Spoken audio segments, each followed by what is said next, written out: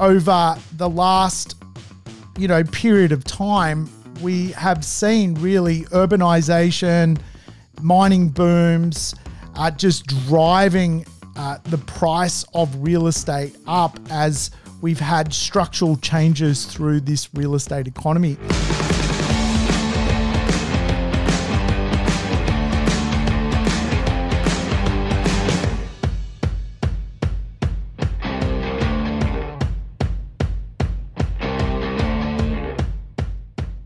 Welcome to the Urban Property Investor. I'm your host, Sam Saggers, here to help you crack the code of real estate wealth. Today's show, we're going to dig into the housing affordability crisis here in Australia. We're going to have a conversation. What can we do to improve the chances for everybody to get into housing here in Australia? Or should it actually just be what it is? A capitalist country where those with capital can deploy it and, of course, yield the rewards from their risk. Are we living in a society today whereby it's just too extreme for everyone to be a property owner? Or can we tackle the affordability crisis which is here in Australia. How did we get to this place? These are all big questions. I thought I would give you my thoughts on how to improve the ability for people to get into the market, what government should focus on. Uh, I don't want to be accused of just complaining. I don't want to be a whinger. I want to try and add value. Every meeting I have, I try and add value to the world and make the world a better place through this podcast, I want to add value. Can I fix Australia's housing crisis? Maybe that should be the name of the show. Can the urban property investor fix Australia's affordability crisis when it comes to property? Well, let's see if I can. There's certainly many reports that have been put together by government to try and come up with solutions. And of course, uh, this creates a lot of debate. And uh, for the most part, a lot of nonsense is put together, which uh, never becomes uh, or never sees the uh, you know the light of day. Hey, thanks for tuning in, urban property investors. Uh, I appreciate your support. So, uh, yeah, good for you. Thank you for coming to this show, and of course, for new listeners, thank you as well for coming to the show. Now, we have a rule play the show in double speed, get your life back. You don't want to listen to me waffle on. Sometimes I listen to my podcast and I'm like, wow, that is just way too much waffle. So I'm known to be a waffler. And uh, I don't want you to listen to my waffle. I want you to take away some tips and really just learn from from what's possible in real estate. Obviously, most of my shows are about replacing your income, and I think obviously that is a big part of the puzzle. Most Australians need to work out how to retire on income, whether it's a thousand, two thousand, three thousand, four thousand, five thousand dollars a week. Uh, it's our job living in a capitalist country to deploy capital and use assets which produce income to replace our own job at some point. We've got to lessen the burden on the system. But the system itself is under fire. And of course, the Australian housing crisis is a big one.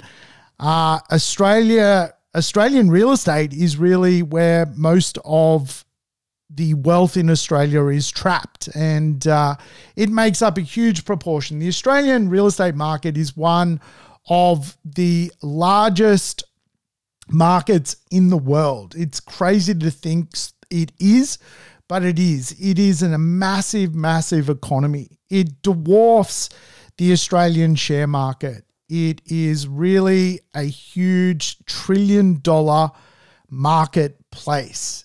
And as such, makes a huge, huge, huge percentage of Australia's wealth. But because a lot of Australians' wealth is connected to property, and we've seen real estate go from costing a can of Coke in the 1960s to today, a suburban middle class home owned by a middle class human being is in the multi millions, well, of course, uh, you have to ask the question how did we get here? And how can we help more people get into the market in what is seemingly a never ending price uh, point problem for people inside society? Today, uh, you really have to examine what it costs to own property. And for a lot of Australians, their income profile just can't afford what is even on offer when it comes to the property market. We can typically borrow five, six, sometimes seven times our uh, earnings when it comes to just getting into property. That's not being a property investor, that's being a homeowner. So if we, uh, as a household structure, maybe earn $200,000, we can go and five times that, borrow a million, and buy a house. But uh, really, uh, you know, when it comes to to the average price in our cities, they trade at different multiples. Sydney is something like it costs 13 times your earnings to, on average, to buy a property in Sydney. Uh, in Melbourne, it's around 11 times earnings. In Brisbane, Perth, Adelaide, it's around seven to eight times earnings. So we either have to earn more money or we need to work out how to create more affordable properties so that society has a place to live. Otherwise, we are going to end up in a country where most people are renters. And I do think a big future is that, that most people will actually end up being renters in Australian uh, society. Australia really doesn't have a middle class anymore. And as such, we probably will see more people choose to rent for life. And that's just going to be a new normal. It's like that in uh, certainly Europe. Most people don't even think about property like it's some sort of way to get rich. They don't think about property as a form of home ownership. They think about property as a roof over their head, and uh, you know they pretty much just you know focus on it on it as tenants more so than being um, homeowners. So, you know, in my early 20s, I spent time in living in England. You know, typically people were were renting. They weren't um, trying to be homeowners in downtown London. It wasn't the way of the world uh, certainly 20 years ago. I know obviously people do own housing inside the United Kingdom, and there's all sorts of price differentials. But I think, you know, most Australians um, have this kind of, I guess, hope that they can live in a better suburb, help their kids be raised in a better neighborhood, they can move up in the world, and really, uh, you know, the Australian mindset, if you like, is is to always be, uh, you know, trying to achieve uh, bigger and better things. And of course, over the last sort of many decades, Australia has been blessed. You know, we we earn more than we probably should. Uh, we are blessed because we have a large, large landmass which is full of dirt with minerals in it gold, lithium, iron ore, you name it, we have it.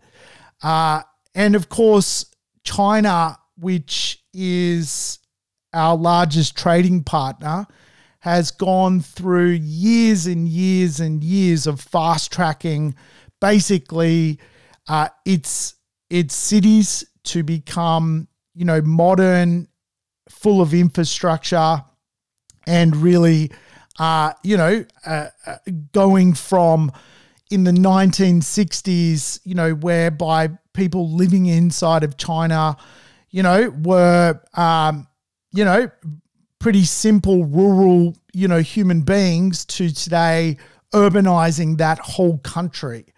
The steel to uh, change that urban landscape has all come from iron ore in Australia and coke and coal in Australia. So we have been blessed to build our wealth off really a second world country uh, coming and emerging into the modern world, and and really uh, Australia's uh, focus, if you like, has been to sell gas, iron ore, coal, and of course Australia has built a bit of a Ponzi scheme when it comes to the idea that new migrants increase the ability to create taxes, new migrants, um, if you like, uh, increase economic output. If you increase the size of your population, you can avoid technical recessions. And here in Australia, really, we have a services economy whereby uh, the business model is bring more migrants here and sell them something, sell them the dream. And they soon arrive and soon realize that Australia is an expensive country. Um, the cost of living pressures are high, and uh, what you can earn is strong, but also equally, if you are going to win at the game of of life here in Australia, if you are going to live in a capitalist country like Australia, you've got to play the game of capitalism. And in some respects, I think migrants are some of the best investors in real estate. They get it. They know that, uh, you know, typically coming from a country perhaps which is less fortunate than Australia, they know when they come here they're blessed and they should do something beyond just earning money um, from their wage. But really, that's that's the the the I guess economics of Australia, and uh, it's amazing to understand that that little section of economics has led to property values in simple middle class societies now worth millions of dollars. And if you think about it over the last, you know, period of time, we have seen really urbanization, mining booms, uh, just driving uh, the price of real estate up as we've had structural changes through this real estate economy. And of course, uh, really the idea of a Ponzi scheme is the greater fool theory that someone comes along and just pays more for something that's actually overpriced to begin with. And a lot of the Australian property market is a greater fool marketplace. There are so many places I would not invest in real estate in Australia. And really, uh, the greater fool theory, if you like, also is linked to Australian monetary policy around property really, uh, as money changes value, assets like real estate have deflated over periods of time and inflated over periods of time. And certainly, um, we've always had the approach here of in Australia is get people into housing and try and inflate its value. That will create the wealth effect and uh, will bring more migrants into the country. They'll pay more uh, for the property, and eventually um, we'll just create more and more wealth, more and more equity in housing. So we feel wealthier, and uh, on paper, we are wealthy, certainly by other country standards.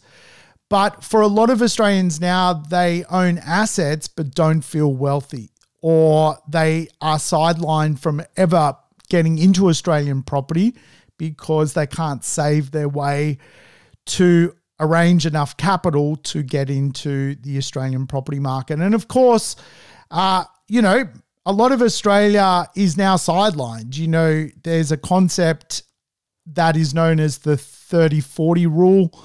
Uh, basically, the bottom 40% of incomes spend around 30% or more of their income on housing uh, a roof over their head, whether it's through uh, owning that property or whether it's through renting that property.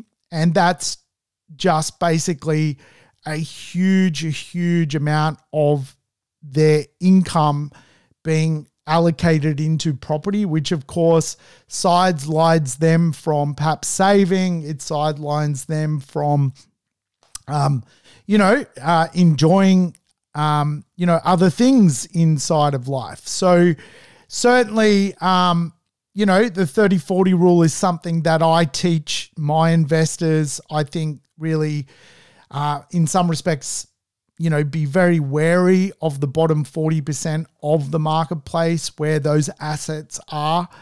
Um, you know, it's hard to put the rent up on people at that end of the marketplace. And of course, you know, the neighborhood effect is something I also teach, whereby can really uh, the bottom 40% of the market, if you like, society, renovate their homes? Can they draw down on more equity? Can they play this Australian property market model, which is fueled by uh, borrowings? And of course, um, you know, there's been lots and lots of people try and create a reform around Australian property. And we've even had elections over Australian real estate. Uh, most notably, the, the uh, Bill Shorten um, ScoMo election, federal election. Um, and Bill Shorten got sent packing because he was going to basically get rid of uh, tax incentives for real estate and he was going to also meddle with um, basically taxing inside of Australian companies when it came to the share market. And of course, it's fair to say Australian companies, your Wesfarmers, your BHPs, need uh, basically the fractional taxing scheme to be competitive at a global level. Like, really, that fractional um, tax structure inside of the share market really does allow for Australian investors to invest in Australian companies. Without it, you know, most investors would go offshore. They would be buying shares in Amazon, Apple, uh, but because of the tax deductions inside of the Australian share market through obviously um, fractional um, you know, uh, the basically companies, um, you know, creating a fra- franking credit for your uh, dividends, then um, you know you you you've got a great asset class, but it's kind of uh, also that protection mechanism of franking cre- credits that you know, means that Australians invest in Australian companies. And of course, we need Australian companies to be invested in because of, um, you know, like a global marketplace, a marketplace whereby there are alternatives to invest in. And we need Australian companies to be strong to build a bigger and better Australia. So those franking credits, I think I said fractional credits, franking credits um, are important to the share market, as is gearing to the property market.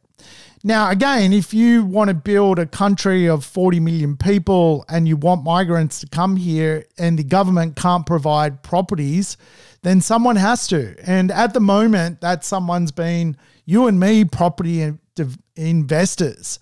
Um, certainly, things are starting to branch out, and the federal government, through their most recent, um, I guess, budget, has come up with some ideas to, you know, help the uh, the the system, if you like, and uh, you know, let's go over a few of them. I think, um, obviously, the first one is the federal government has allocated two point seven billion dollars for rental assistance. So that 30 40 rule, where 40% of the population is spending 30% of the income on living somewhere, um, you know, people can't afford it. So the government now is propping up the bottom end of the market to keep up with the top end of the marketplace, which uh, is a band aid solution. It it obviously gets people through a tricky period for the next five years, but band aid solution. It's not going to, uh, you know, change the value of properties. And in some respects, like as a capitalist, I don't know if I want properties to become cheaper for society. Like, should I just be a capitalist and go, well, you know what? My job is to deploy capital. And if properties become um, insanely expensive, so be it, not my problem. But on the other side of the fence, you know, I think obviously, um, you know, making sure someone has a home, a roof over their head. Um, you know, Australia's a nice place. Like we don't feel like we live in a dangerous cities. There's there's not a lot of um, you know, overall crime and there's not a lot of homelessness. Like um, you know, compared to you know, America, go to San Francisco. People today live in tents on streets in America. People today live in tents under bridges all over America. People today living under piers on beaches in tents because this became a real, real issue inside of certainly uh, the United States. So uh, the other, I guess, federal government, you know, initiative, if you like, is they want to build over one million new homes um, to support, obviously, migration. Now, again, there's not that much evidence that they can go out and build 1 million more homes. I don't know how they're going to do it. This one really does feel like a bit of political, uh, you know, mastery, if you like. It sounds good, but, you know, Australia for the last 20 years has produced the same amount of properties it produced year on year 20 years ago. Things have not improved. We have not learnt as a nation to accelerate property supply. We have not worked out how to do it.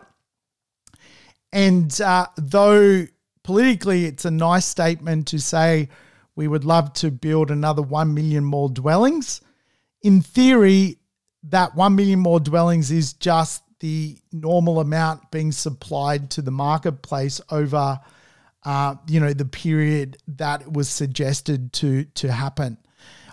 There is no way to add another 1 million surplus. There's just not enough builders around to supply it right? We just don't have the amount of building companies around to produce the homes to actually create a more affordable product being housing. Uh, anyone who understands the real estate market right now would understand just how many builders have gone into receivership over the last 24 months. Something like 2,000 builders have gone under um, trying to supply the Australian residential real estate market. Now, think about that. That's that's bananas, right? Like the fact that um, we now can't actually supply the marketplace because of costs, margins. Um, you know, we we find ourselves in a real problem, and in some respects, you know, there's one more boom that could probably arise if monetary pos- policy changes. If rates went down next week, real estate would probably skyrocket in value another 10 or 20%. That's how volatile the capital growth rate will be because there's just not the amount of stock. If we saw rates drop by 1%, geez, it would be game on. And again, like this is something that would just stretch most people to never be uh, never be able to to uh, get into the home ownership space, particularly via Rule 30 40. Rule 30 40, 40% of society can, they're already spending too much on housing. How are they going to keep up if there's more capital growth? That's kind of the argument. Uh, I guess there has been some other, um, you know, ways to to increase the level of perhaps supply into the Australian property market other than the pledge to build 1 million homes. Um, and that is basically to reduce from 30 to 15% the withholding tax for funds, so um, property funds, REITs, uh, to go out and provide build to rent. So they um, can, you know, they're playing with the tax system to help the big end of town basically supply rental dwellings to the uh, 30 40 section of the market. Basically, go and build homes for uh, people who can't afford to to keep up with the cost of living. And uh, you know, the other, I guess, milestone in the build to rent space, if you like, is the depreciation allowance has gone up from 2.5 to 4%. So that means you can write off a building much faster and at a higher rate. And of course, this is to prop up again the build to rent world. And if you're not familiar with build to rent, obviously just break it down into a couple of quadrants. First quadrant is normal supply to the rental market is provided by mum and dad investors, you and me, building a property portfolio. We want to retire on $2,000 a week. Uh, when we stop working, we need two or three properties to do that. Um, we need capital to deploy into the market. We play this game. However, uh, there is a small percentage of property investors that exist. Most people don't want to be property investors. Most people are just happy renting or owning their own home, let alone taking on more risk being a property investor. So uh, the government realizes that that the day of mum and dad becoming a homeowner and property investor, and then a multiple property investor, and then a property investor that's in the 1% club, which is people that own multiple, multiple properties, is over. Like most people can't uh, fathom that that is even possible. And it takes real investor grit to get there. And hence why, you know, quite often, uh, you know, podcasts, uh, my podcast, you know, like we try and help people become into that 1% of, of, of people in society, of, of property investors like that own a lot of properties. Uh, it's very, very difficult. No one achieves it not many people achieve it. Like 1% of property investors achieve it, which is amazing, right? So, uh, no one out there in the real world outside of the property investor industry, which is really small, is providing properties to the rental market. And so the government realizes this, so they now uh, approve properties for build to sell and build to rent. And so the build to sell market is obviously new construction that gets sold to uh, whoever. And the build to rent market is real estate which is kept by basically uh, funds and REITs, real estate investment trusts, to rent. Uh, and there's a covenant put on the property for it to be held for like 50 years and the depreciation rate is increased. So basically, it props up the reason why you would hold that investment as a real estate investment trust and, uh, you know, provide dwellings to the real estate uh, rental market to the 30, 40 end of town. Uh, which uh, which is is I think you know it's very popular overseas, and um, you know we'll soon see what it what it what it looks like here in Australia. It's early days yet, um, but what it will also do is put less supply into the build to sell market. So, you know, if half of the supply is going to build to rent, half of it's going to build to sell, that means typically um, the properties which are built for sale, uh, there's less of them. And, uh, you know, if they're any good, they'll probably go up in value because of their character and uniqueness. Uh, other ways to help basically the Australian affordability crisis, according to the federal government, is to increase the national housing finance uh, capability Um, and what that means is provide better community housing. So, more social housing, basically by government. Uh, they want to increase the cap um, that they're spending on basically social housing. So, not only do private enterprise um, create build to rent, then the government creates social housing. So, their own investments, basically, which they want to help uh, those in Rule 3040, which uh, again is um, a real thing happening. And uh, will it make more affordable properties? It may help. Uh, it may help. I don't know, but it may help. Uh, obviously, the government is also very, very keen on helping new Australians through first homeowner grants. And, uh, you know, this one's been around forever and a day. And now, of course, um, Australians can, you know, team up. Uh, two borrowers, they don't need to be married. Uh, they could be friends, family. They can get together and um, they can, you know, use some of those eligibility grants inside of first homeowner um, situation. Again, it tends to prop up, uh, if anything, the uh, bottom end of the market when it comes to new construction. It keeps a lot of people in work. It keeps the wheels turning around. It greases the wheels of big business that, uh, you know, own large parcels of land around the place. Again, it uh, it you know keeps things moving. In particular, because of how Australian real estate is so tied to monetary policy of lending, which we'll talk about.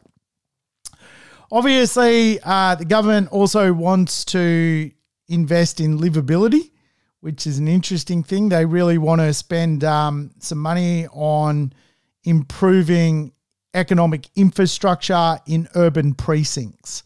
So they do realize that jobs need to be decentralized into all sorts of areas around cities. Otherwise, no one can move around. And of course, um, you know, if people live too far away from their workplace, real estate closer to workplaces becomes more expensive because people don't like ultimately commuting and wasting their life doing nothing.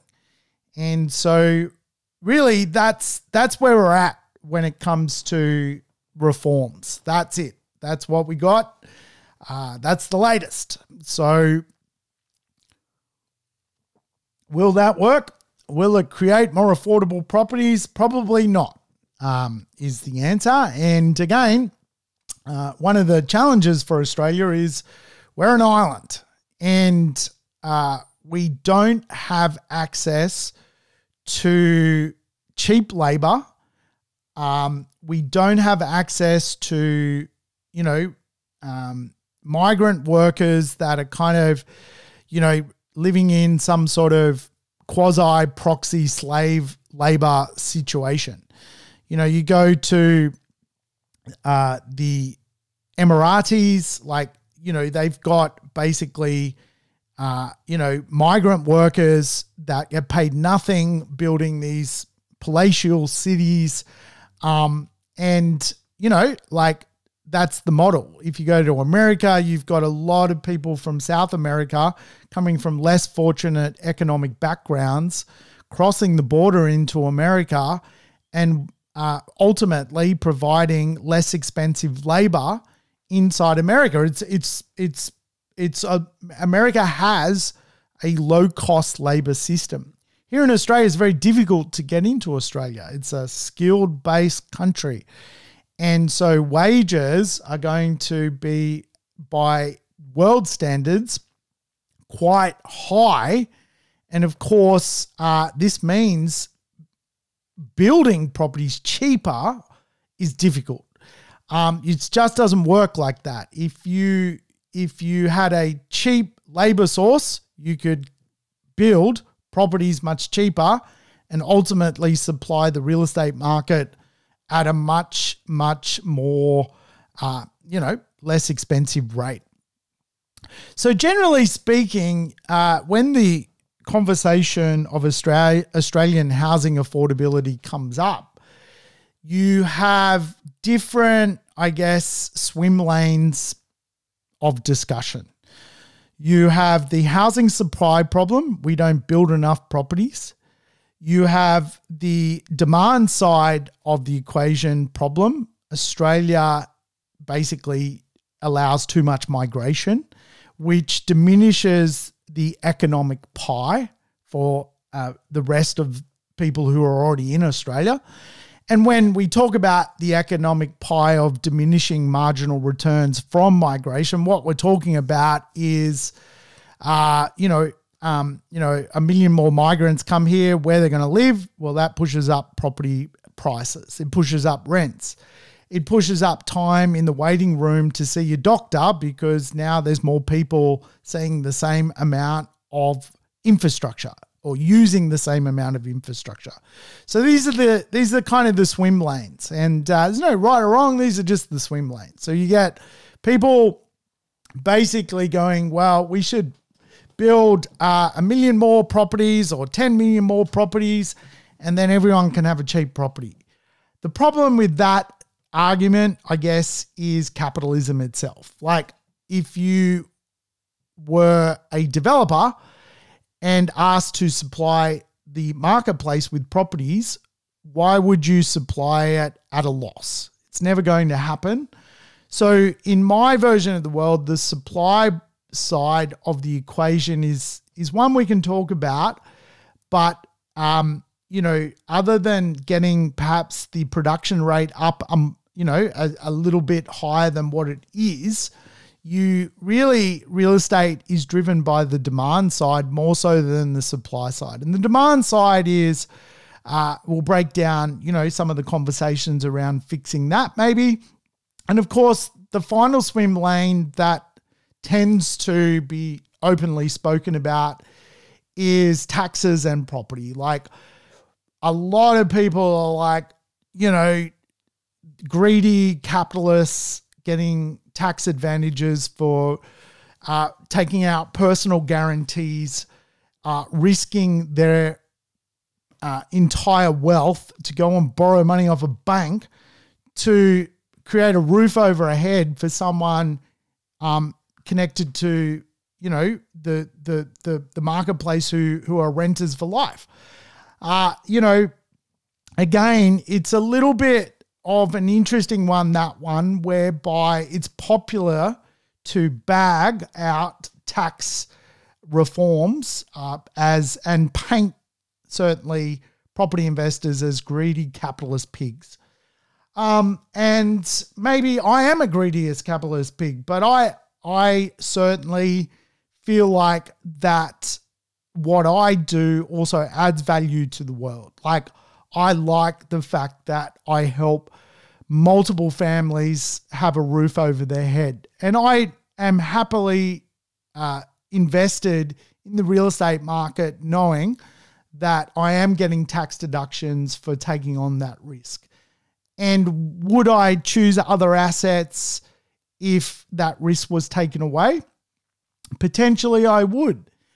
And when you meddle with basically uh, taxing capital too much, you do run into a future problem. And again, like if capital is taxed inefficiently or overtaxed or not um, incentivized, then investors just find other ways to make money. And again, we've probably seen that with the crypto boom investors worked out a loophole in the system and went for it because it was quite efficient.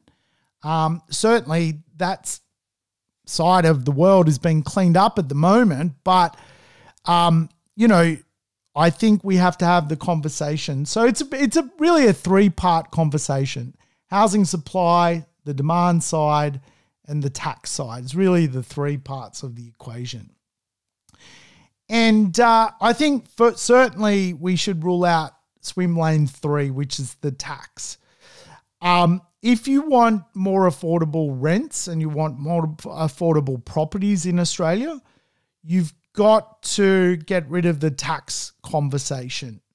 Tax certainty and security is a very important mechanism to the demand side of mum and dad investors buying a property to put a tenant in it. It's an, a very important equation. And uh, again, like I think there is a bit of a false narrative portrayed in, you know, like that, you know, it unequally just pushes prices up to breaking point. It's already at breaking point. And again, if you withdraw more people from the system, it just gets worse and worse and worse. So again, like overtaxing or over-regulating um, an industry just kills its viability, and again, it creates a monopoly monopoly effect of a very small few can um, partake in the in in the process. And you know, if we go back to how real estate actually commenced, you know, you you had lords who owned everything and uh, basically the pleb class owning nothing. And again, like, you know, we're still lucky here in Australia that the Lords, you know, the companies of the world, the REITs, you know, it's being socially engineered that they will own everything. And I think getting rid of mum and dad investor is a bad move because we can still supply properties to the rental market and put roofs over people's heads. But again, just get rid of this conversation that it's ever going to be a problem. Write it in stone that it's here to stay. And again, you'll probably have more people enter the property market as very conservative people with good wages able to invest in property. Um, and, you know, why would you take the risk if you were a mum and dad investor to enter the market if you weren't going to get a reward? So I think the first thing we need to fix to create a solution um, to providing more affordable properties is to just hit the tax one on its head because it's the most stupid one to talk about. Um, it certainly can even be improved, and I'll talk about what that looks like. I think from the demand side, you know, people, consumers need to feel confident that they will get what they uh, are buying. And in some respects, I think the demand side, the consumer side, needs to think about property in a whole new way. Now, the way property is sold and worked on in Australia basically is we have real estate agents um, and we have consumers. And people come out of the schooling system with no financial literacy. I always say, you know, the Australian property market is kind of made up of over-educated, financially illiterate people. They've been educated on all sorts of things, but they are very financially uh, challenged when it comes to their number one biggest investment in their entire life, which is buying a property. And so I personally think that the buying a property concept should actually be a consumer license, like getting a driver's license. Like to go and drive a car and not, um, you know, run over 30 people, you need to do a test um, and you need to know road basics to move around the uh, the road network here in Australia. When it comes to buying a property, you don't need to know anything, and uh, you then go and you speak to someone in the property industry who usually left school in year nine, and uh, you know, did a three day course on buying a property, and uh, now they're they're basically a qualified agent, and you either uh, buy off them or uh, even you use them to buy something, which um, again is abdicating responsibility. We as adults should be responsible. And so I really think, um, you know, when it comes to the idea of of fixing the demand side of the equation, having a demand side of the equation which actually knows what what what they're in for is an important thing to me. Otherwise, it does come across like it's a bit of a Ponzi scheme. Like you grab some new migrants, you sell them your dream, um, you make them buy stuff, you get them a new house, and away you go. So I personally think there's nothing wrong with capitalism, uh, you know, doing that. But I do think the consumer should actually do a license to make sure they know what they're in for. Because the real estate market is driven by human beings and human beings are volatile. And what irks me no end is volatile human beings getting into the real estate market. Just don't get into it. Become a real estate investor. But they don't know what they don't know, and the school system doesn't teach them anything. So, personally, I think to fix the housing crisis, a consumer housing license should be activated. And again, I think this would give consumers more confidence to perhaps buy a home, more confidence to become a property investor and buy a home that someone else rents. We need to educate consumers here in Australia. There is so many uh, well appointed uh, uh, people in well appointed jobs with high incomes that don't provide housing to the Australian housing market. They don't. They don't take the risk. They don't want to know anything about it. They are invested elsewhere and they do not prop up being a landlord and play that game. And uh, I think they would if they knew that there was a level of certainty as to the type of people entering the market. So, why not have a driver's license test for buying a property, a consumer housing license?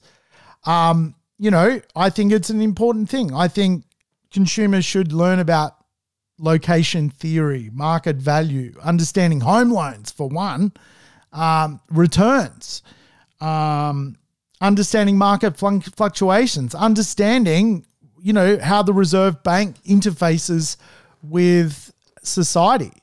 Understanding strata law, I think, is very, very important. Like, a lot of people don't even go to strata meetings. Like, how did you buy a property if you won't actually participate? And I think this idea of, um, you know, making the actual consumer stronger is important because um, a strong consumer will ultimately feel more empowered to consume, but in a right way, not an irresponsible way. And so when I think about the demand side, I think people need to feel confident to shop. And, um, you know, it doesn't have to be like an, you know, two year course. It can, it can be just reading a book, um, knowing the basics, doing the test, doing it at the you know the local services. Uh, you know, here we have in Sydney Services, New South Wales. You do it there, you pass the test, you're off. You've got your uh, license, if you like, to go to an open home, to go to an auction, to not go beyond your means when it comes to putting yourself in a financially unstable place. Because um, I think a lot of the rhetoric around real estate is is around stability and instability. I think um, just having stronger consumers would really support the narrative that um, people know what they're doing. They're adults.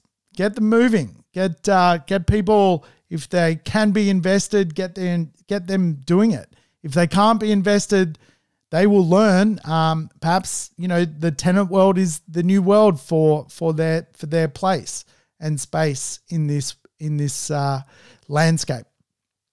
I think as well, what's happened in New South Wales has been a good thing around the demand side of new properties being produced. So obviously, when we break down the demand side, there is established properties. What can we do to release their demand back into the market to create more affordability? Then you've got to go and build something brand new and bring it to market.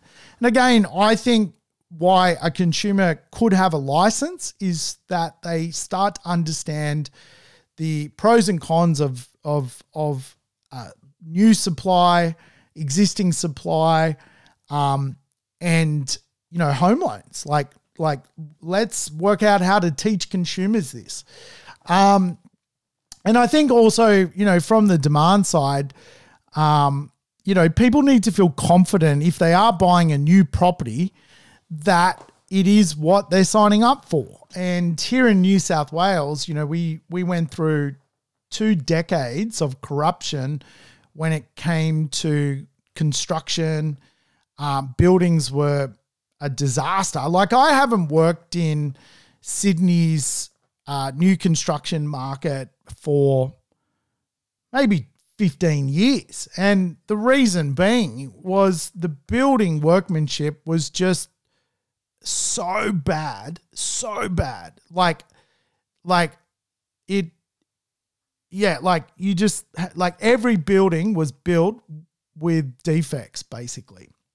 And so I think it was like two years ago or one year ago, maybe relatively new. No, I think two years ago, the New South Wales to, um, government did something quite good. They created a housing commissioner, and um, basically the housing commissioner, if you like, goes around and signs off on every building produced in in New South Wales. And basically defects them before they get handed over to then be re-defected by an investor.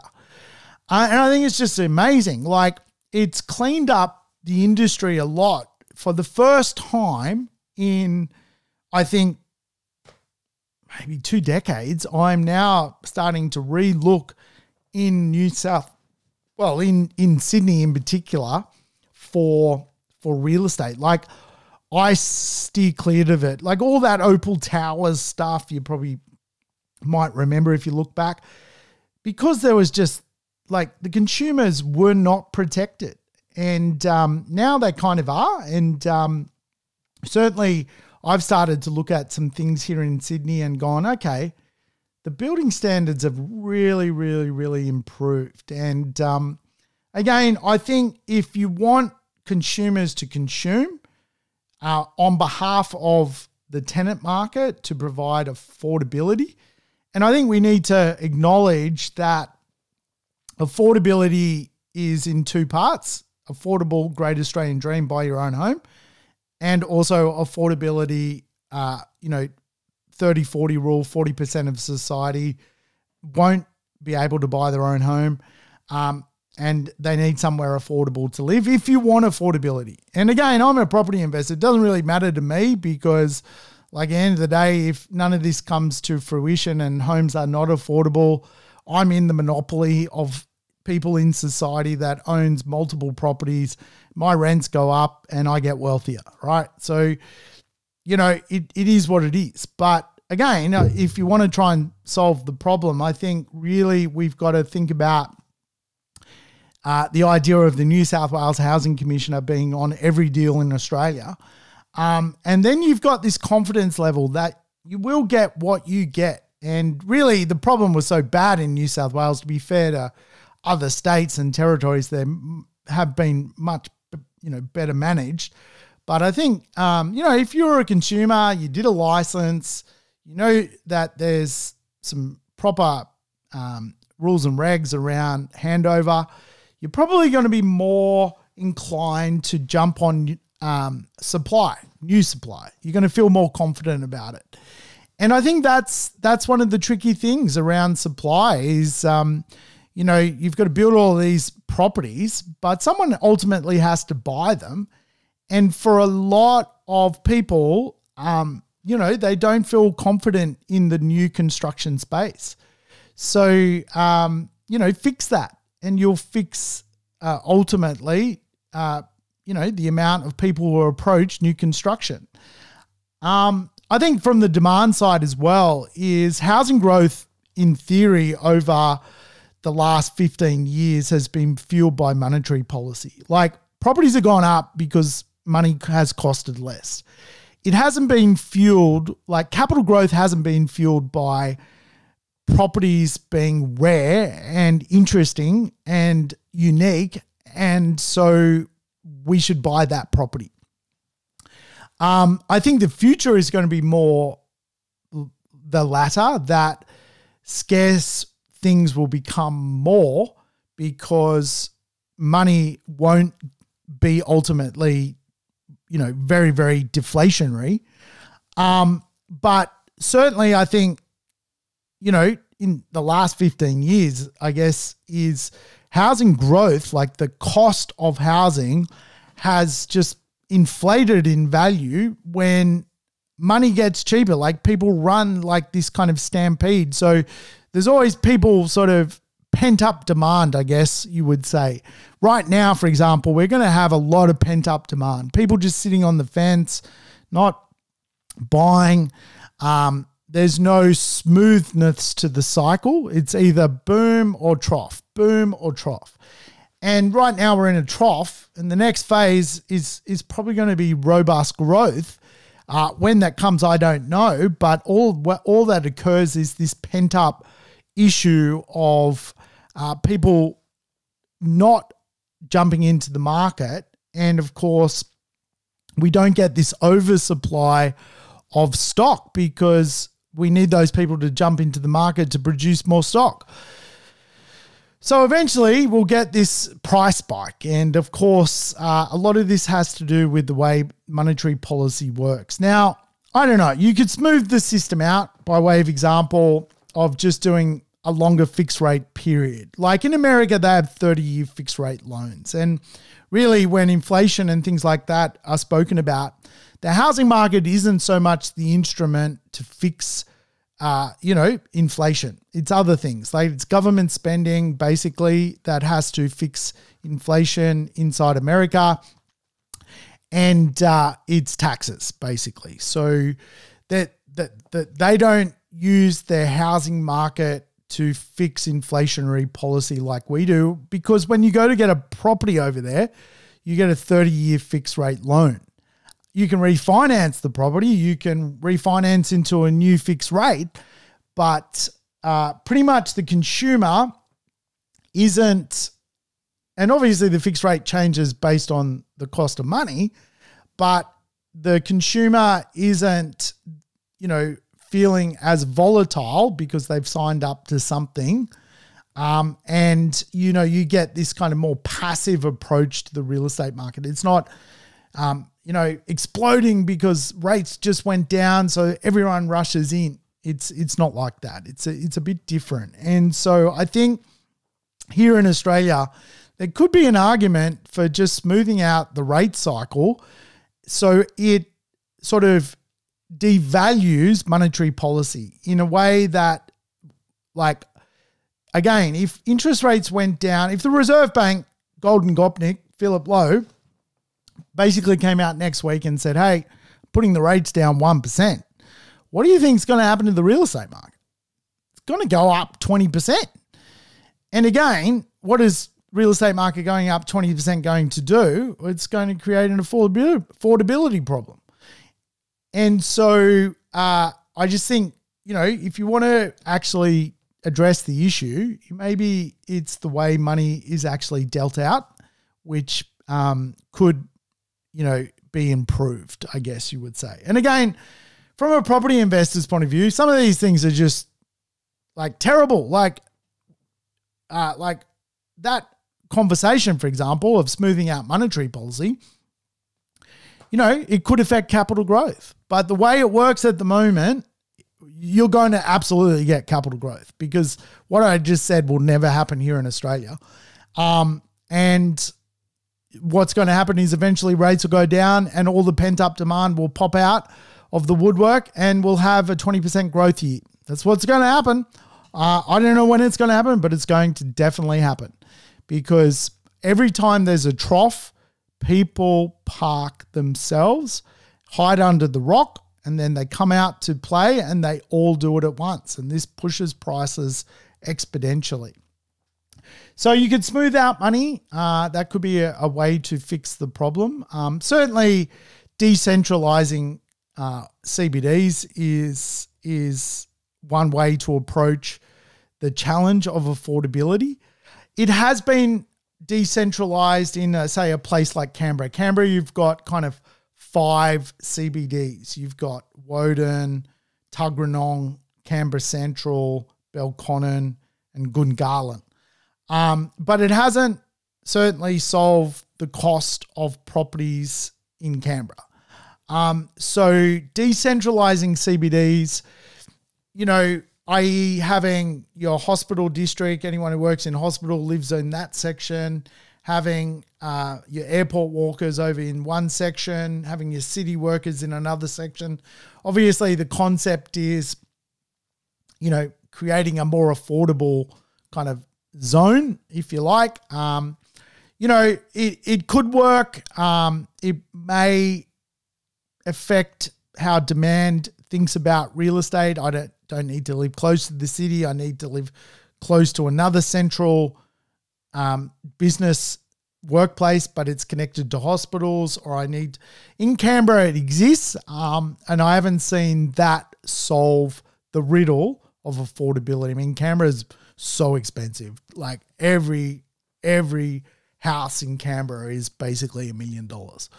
Um, you know, middle class, lower middle class housing is a million dollars in Canberra. So, um, hey, I think from a zoning point of view, like we could think about re uh, zoning places which are already full of supply.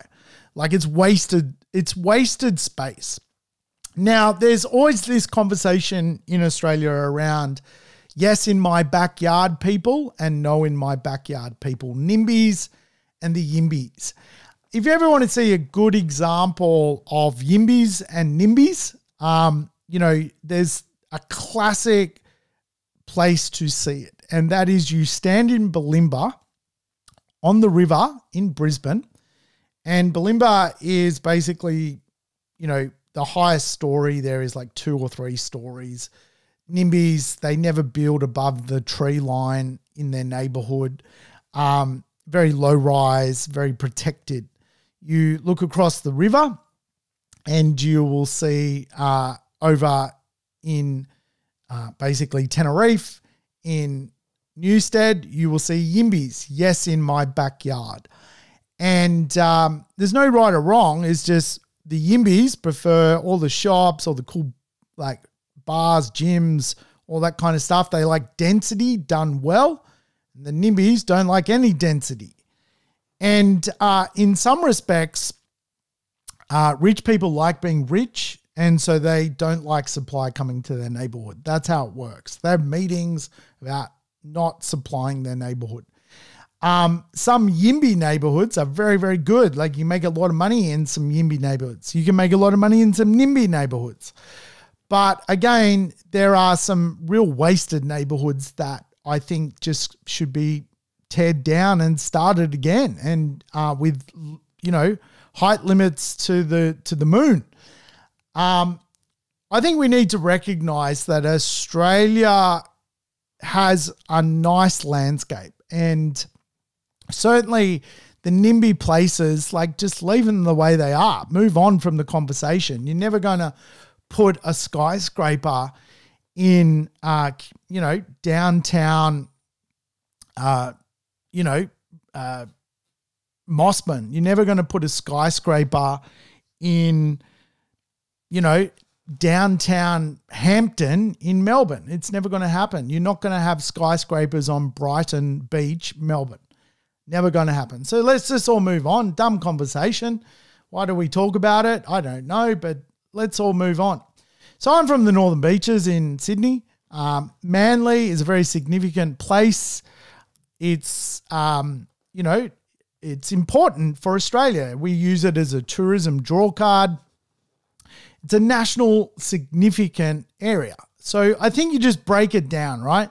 You got national significant areas, you leave them alone. Uh, Bondi Beach, Manly Beach, they're significant to the way Australia appeals to the world. To it's appealing for migrants to come here to know Manly Beach exists. Uh, you got NIMBY places which are very character. Just don't worry about them. Leave them alone. They they're never going to um, bend the rules to to change. And then you've got YIMBY areas which are perfectly good and have done great things to make urban those urban areas great places. But then you've got these kind of like no man's places which are full of old derelict apartment complexes which add no value to the public realm. Now I'm from the Northern Beaches. Um, I mean, this will be hard to visualize if you're not from the Northern Beaches. But you could say, for example, Manly's a national significant cluster. You won't, um, you know, zone that. But you go to Why. I mean, Dee Why is one of the greatest places in the Northern Beaches to live in an apartment. It's fun. There's stuff happening everywhere in Dee Why. I really, I really dig it. But it's full of red brick, um, you know, eyesore apartment complexes which are falling down, which are three stories high, um, why shouldn't they all be knocked down and government basically um, goes through some sort of reacquisition of those lands and basically joint ventures with a REIT and builds, you know, uh, 40 story buildings? Why not? Uh, it's an accepted apartment zone. It's YIMBY done right, whereas Why is is basically YIMBY done wrong. And I think we need to fix our YIMBY done wrong areas and reinvent them. And uh, you wouldn't need to worry about the NIMBYs nor these beautiful, significant character areas at all. Why? Because this stuff always already exists. The height limits are wrong, and you would be able to supply the real estate market um, in areas which are used to that typology of product. Dee Why is very used to apartment living. No one lives in Dee Why and goes, oh, you know, there's too many apartments. Like they know what it's like, and it it's designed for apartment livers. Like it's really really cool. Like you go down there, it's kids playing in the local parks with other kids, and they all live in apartments. It's great. It's done right, but its level of height is done wrong. YIMBY done wrong. This is the conversation that should be had. All right. The other conversation I think we need to have is around value. Yes, value. Now, this is the long podcast. I didn't realize this podcast was going so long. Um, you need to speed me up, play me in double speed. If you're listening on single speed right now, you're probably, you know, uh, want to shoot yourself. Um, so don't shoot yourself. Speed me up. Simple, double speed valuation needs to change here in Australia. If you want basically more density, more supply, more people um, in more affordable products, then you can't build 300 square meter homes um, that everyone wants to live in. You need to rethink spatially how space is valued. And again, valuation metrics need to be rethought. Um, so, what we value in society and what is valued to a bank and what is valued to a, a buyer's agent and what is valued to a real estate agent, it's all distorted. Now, if you think about it, right, if it's actually more valuable for society to function together harmonious, if that's the goal, if the goal is truly we want Australians to live in a completely middle class society, um, whereby socially we're we're just simplifying what things cost to live. If that's the goal, then value needs to change. It's as simple as that. So, if it's more valuable, for example, for society to have people live in a four bedroom home on 100 square meters of land, if that's more value to society uh, than it is for society for people to live on 500 square meters of land in a four bedroom house, then we need to make that more uh, appetizing and actually stand behind it. If that's what we want, that's what we've got to go and do. And again, you can't have all these rules and then everyone wants to live um, in the best suburbs, the best streets, in a 600 square meter home, in a nine bedroom mansion. It's just, it's, it's, it's, it's a silly conversation. So it's, if it's actually more valuable for society to live in a different space, then we have to make buying that more valuable. That can be no stamp duty for the 100 square meter home. That can be a monetary policy that makes the 100 square meter home better value than the 600 square meter home. Cheaper home loans. You could have today green loans, so you get actually a half a percent discount off the bank rate when you get a Green Star loan, when you own a property with a seven star thermal efficiency rating, why not have a space loan, a space efficiency rating loan? Yes, uh, that could be a thing. And again, like we truly serious about this, like you got to get serious. Because again, like if you want more people to buy an affordable product, then you're talking about 100 square meters of land, you're talking about a compact house, and you're talking, you know, four, five hundred thousand dollars, and you're talking um, basically rewarding the consumer who's got the license to go and buy that product. How are you going to reward them? You're going to lend them money cheaper. Um, you're going to give them a discount, maybe because that's new construction. You're going to give them a green loan. And now you're going to give them a space loan, an efficiency loan, a space efficiency loan. All of a sudden, they're borrowing money for 1% less than everyone else. Uh, all of a sudden, that product type becomes a very in vogue thing. It's more affordable if you want affordability metrics, you need to match the concept. Oh, I want to live in an affordable, um, uh, in an affordable manner. Here's an affordable dwelling at an affordable uh, interest rate. That's the model. And again, it's not um, to fix the uh, solution of making money out of real estate as an investor. is a completely different conversation. Uh, if society wants to socially engineer people living in smaller properties with less debt, with cheaper money, it can be done. Um, and uh, you know, you just you just can't reward buying a 500 square meter block of land. You just can't. Um, you know, in theory, what is better for society? That's the conversation. Maybe it's like, oh, you're buying in a NIMBY area. Your interest rate is X. You're buying in a YIMBY area. Your interest rate is Y. All of a sudden, you're socially engineering the outcome you're looking for. And of course, um, I think when it comes to creating affordability, obviously there's a lot of established properties that sit around. Um, and if there's way more established properties than there are new properties that are produced. And so a lot of established properties, again, need to be bulldozed and redone.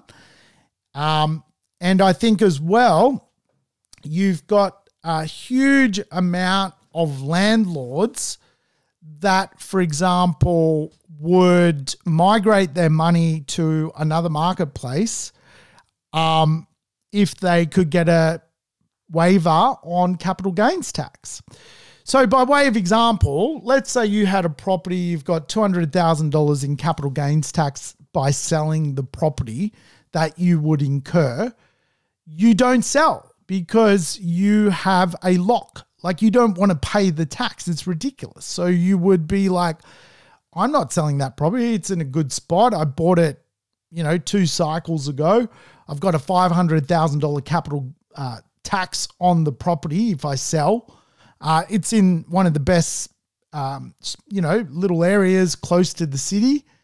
It's a little, you know, investment property, but it's got a lot of gain to it. I'm not selling the property. So guess what? You don't sell and it doesn't release the supply back to the marketplace because you have capital gains tax locks. Now, I've got this. I've got capital gains tax locks. I've got great properties that I would happily sell if I wasn't being gained. Now, I think there could be a, a, a simple legislation around this. If you sell and rebuy within 12 months as an investor, uh, in other words, you don't disadvantage the rental market by removing your property. You sell and rebuy in the same financial year, let's say, uh, you migrate your money. So let's say I've got a property in downtown Sydney, love to sell it. You know how many people would want to live in downtown Sydney? Six Ks from the city? Mate, most people, most people, happy to sell it, happy to put it back on the market. Uh, equally, I'm happy to go and buy another rental property somewhere else. Um, happy to do it. Just don't charge me uh, capital gains tax. And I will provide a, another rental property and I will provide someone a home to go and live in. So there it is. No capital gains tax if you redistribute the money two for one. You're going to get two for one. So I'm no genius, but I think that in itself would be one of the best ways to free up supply of existing properties in infrastructure rich areas. Now, not everyone would do it because a lot of people like owning their properties in infrastructure rich areas. But some people like me who play the game of real estate where we like to move our money around maybe have better opportunities whereby if it was tax effective, we would Go and chase those better opportunities. I'll say it right now. Don't charge me the capital gain on the property I have, uh, 6Ks from Sydney CBD. I will use that money and go and buy another property and put a renter in it, and I'll free up that property for a first homeowner or whoever it is to go and live in. Affordability. I've just created affordability. Uh, eventually, the government will get its tax, its capital gains tax on the next property, or I again shuffle the board and provide an established property back to the property market. I'm just giving solutions. Maybe someone who has higher authority than I is listening to this and will do good. Now, I think uh, when it comes to the final thing I would suggest is again, density done right is awesome when it's done well. Here in Australia, obviously, we have a fascination of of wanting to live the you know the great Australian dream in a in a nice house with a white picket fence. I get it, but the reality and the cost are two different things. Australians need to learn to live in apartments. And um, of course, if you've ever been through Southeast Asia, uh, Southeast Asian or Asian countries, if you like, have, have long since learned how to live in apartments. They do it very, very well. Australians, not so well. Like, we don't know how to do it. And, um, you know, whether it's a nice family friendly apartment or a luxury apartment or like we we like we just don't know how to do it at scale. And so this is why with apartments, it's quite often very selective what you buy as an investor because, um, you know, it's got to be in the right street, right suburb, right floor plan, all that kind of thing to to tick a lot of boxes. And so, personally, um, you know, I know how to seek out a really good apartment, know how to do it. I've been in real estate 30 years. I know how to do it. Most people don't know how to do it. Um, and again, like, probably goes back to the consumer license conversation. This is what, you know, ticks the boxes. But also, equally, I think government has a role to play with people living in apartments. I do. Uh, density done right is much more fun than going and living in the outskirts of a city um, in a house with no infrastructure. It, it is. And I've seen it done right in many, many places, and I've seen it done wrong in many, many places.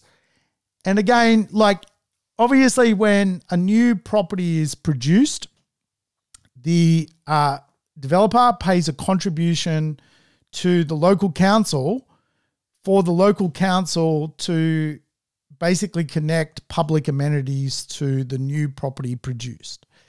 Um, you know, it can be called a Section 94. For, um, now, I personally think that that money should be better managed and not just disappear into a black hole.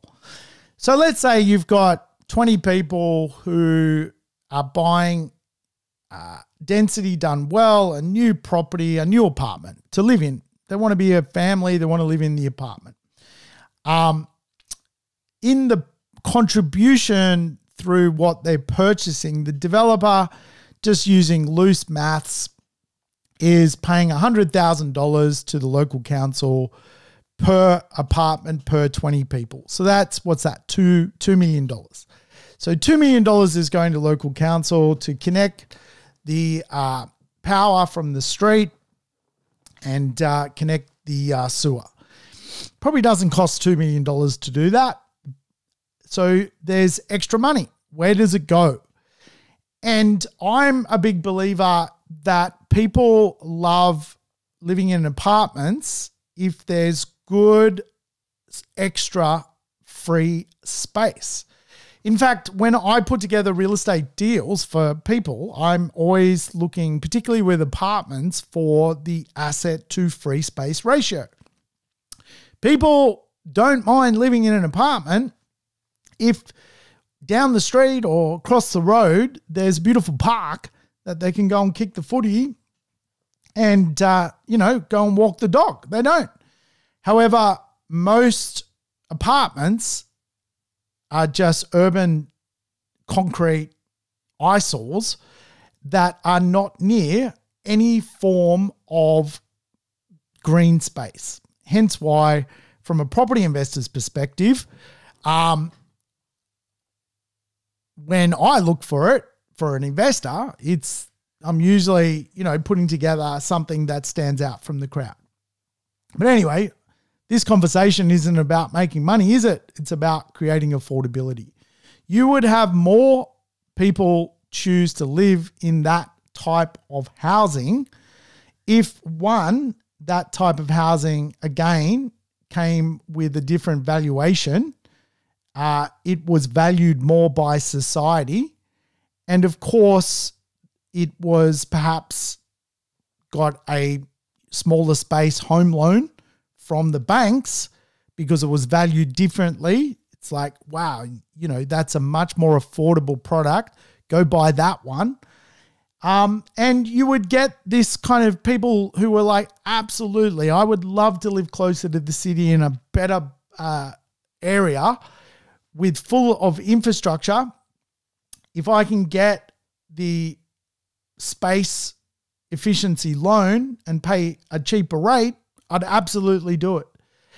However, I also want our contributions for buying this new property openly, open sourced, and I want to know where the money's spent.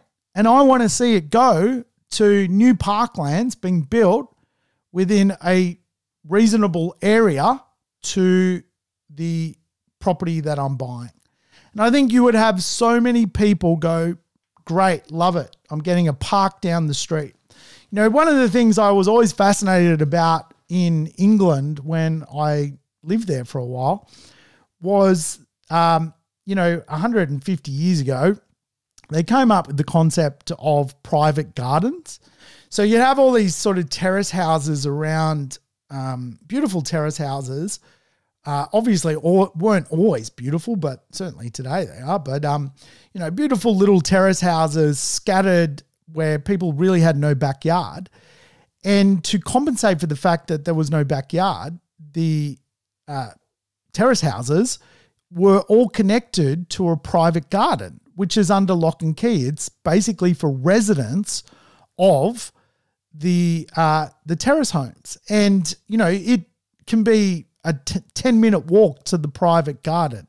And what happens every day in London? Little people live in these terrace houses, and they walk to their private garden ten minutes away under lock and key, which is not for everyone. It is connected to their home, and they get to play in it. So I think Australia just needs to rethink how density is done. What is the barrier for, for example, those contributions of money? Um, let's say there's, I don't know, 100 apartments built, there's now $10 million. Go and re-buy two houses where there's 85 year olds living in there that won't leave, reacquisition their land, buy their house off them for a pretty penny. Obviously, be nice about it, but just go and do it. Turn it into a beautiful little pocket park, which is then connected to, um, you know, perhaps five or six, you know, dense, um, medium density uh, apartment dwellings like actually open source the money. Where does the money go? Where do these contributions go? We want to see the money spent and we want it actually spent on advancing the public realm. I do believe there's a way to solve the affordability problem here in Australia, and I don't think it's with the current uh, way it is being handled. I've given you my thoughts on how to solve it. If you want to use a government, by all means, you won't use it. Uh, so properties is just going to be worth more. So if you're a property investor, you know what I talked about, um, you know, would um, certainly take a new pathway for property investment. And uh, this is why I think it's very important that real estate is not a product of monetary policy. Real estate is about scarcity. So the more interesting, the more high caliber, the more uh, better location your assets are.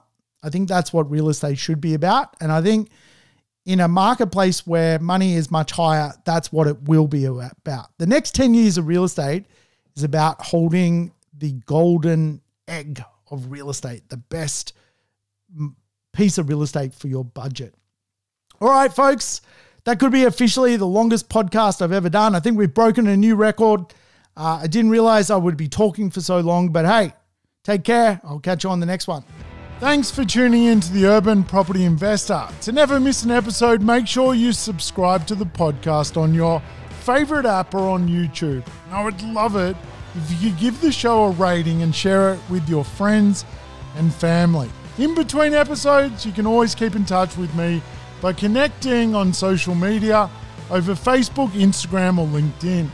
Until we meet again on the next episode of the Urban Property Investor. Take care and bye for now.